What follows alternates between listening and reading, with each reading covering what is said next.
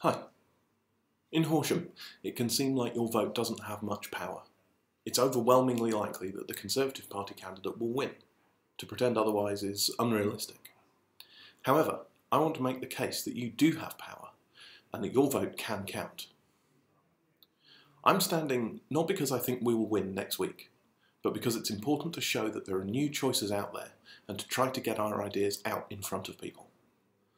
In safe seats like ours, you may not have much direct power, but at least you're free.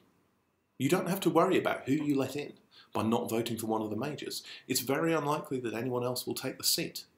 The media is full of scaremongering, trying to get you to vote tactically for the least bad option. Around here, that doesn't really matter.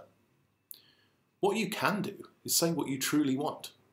If you want a new political system that hears your voice and a democracy fit for the modern world, then a vote for something new helps us prove that the demand is there and growing, and helps us build for next time when we'll be back and growing larger.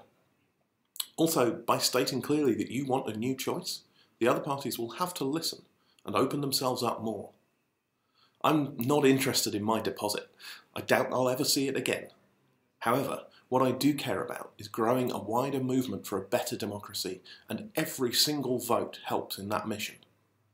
Obviously, those are all secondary effects, but they're important.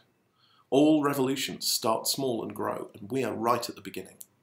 If you think that we need a better democracy in the future, your vote for something new on May the 7th really will make a difference.